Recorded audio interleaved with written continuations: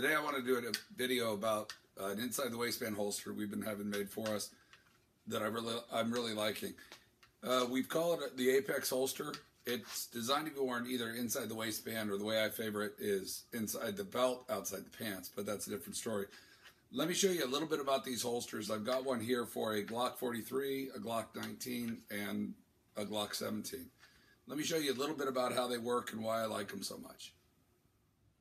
So here's the Apex holster. It's an inside the waistband holster, as I've mentioned. Uh, has a wide belt loop that allows it to sit securely and firmly on your belt. Uh, very tight on your belt, so there's a little chance of it coming off. You don't have to worry about drawing the holster with the gun when you draw your firearm. It also maintains a very good um, retention on your holster. Glock 17, unloaded of course, but it doesn't want to fall out. Just a quick, sharp draw, comes right out. Snaps in, everything's good. You'll also notice on this holster, we've got a bit of a, what we call a, well, what I like to call a fat flap on here. Everybody else likes to call it a sweat shield.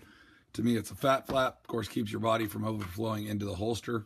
Um, does also protect the gun from sweat, though I'm not so much worried about that as much as I am worried about uh, clothing overflowing into the holster mouth as you're holstering your firearm, which can be detrimental. So, one of the other things you'll notice about the holster is the different angles of the belt clips. There are, you can sort of see one right there. See a little hole right there? If you look really closely, you'll see another little hole right there. There are four holes, so you can adjust the draw angle to whatever suits your, your need. A lot of people like to these days like to carry appendix carry. This is obviously set up for appendix carry, so it sits in your body, goes into a nice close draw stroke, uh, safe draw stroke into the first fighting position. This one, designed to be carried behind the hip, say four to five o'clock position. This one almost on the crest of your hip, almost a 330 sort of position. Very good holsters. I love these holsters. Uh, molding's good all throughout. Very good retention wise. They do have a, a, retention screw, so if you want to tighten it up, make it a little tighter than it comes, you can do that, but it's not really necessary, I think. Draws out, fits, get a good master grip on it.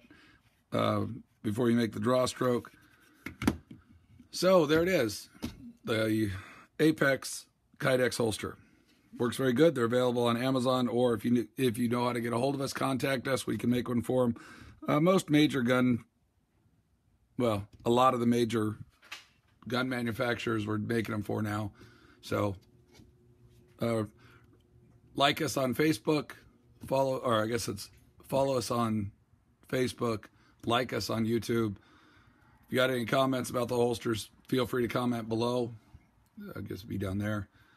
Uh, put a link to these, the how you get a hold of these if you want them. Enjoy and always remember, hope is not a strategy.